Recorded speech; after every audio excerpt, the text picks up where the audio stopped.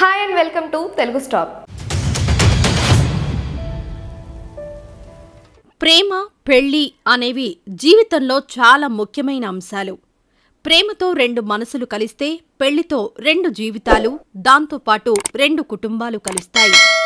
కానీ అన్ని ప్రేమ కథలు సక్సెస్ కావు. అలాగే అన్ని పెళ్ళిళ్ళు చివరిదాకా నిలవవు. కొన్ని పెళ్ళిళ్ళు భార్యాభర్తల మధ్య వచ్చిన మనస్పర్ధలు ఇతర కారణాల వల్ల కడదాకా సాగకపోతే మరికొన్ని పెళ్ళిలలో భార్యాభర్తల్లో ఎవరో అర్ధాంతరంగా కాలం చేయడం వల్ల చివరి వరకు సాగవు. దంపతుల మధ్య అన్యోన్య బంధం ఎలా ఉంటుందంటే జీవిత భాగస్వామి పక్కన తనతో లేకపోయినా ఉన్నట్టే భావిస్తారు. వారే పిలిచినట్టు భావించి పలుకుతుంటారు.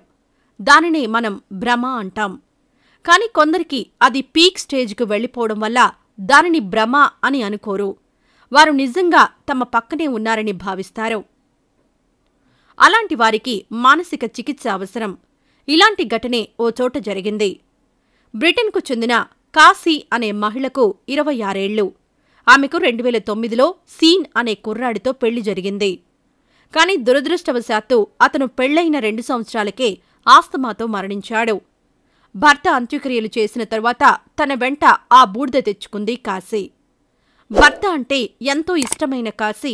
ఎక్కడికి వెళ్ళినా ఇప్పుడు ఆ చితాభస్మాన్ని తీసుకెళ్తోంది. దానిని చాక్లెట్లా తింటూ ఎంజాయ్ చేస్తోంది.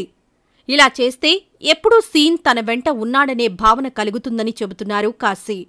ఈ విషయాన్ని మై స్ట్రేంజ్ అడిక్ట్ అనే కార్యక్రమం ద్వారా తనే ప్రపంచానికి తెలియజేసింది.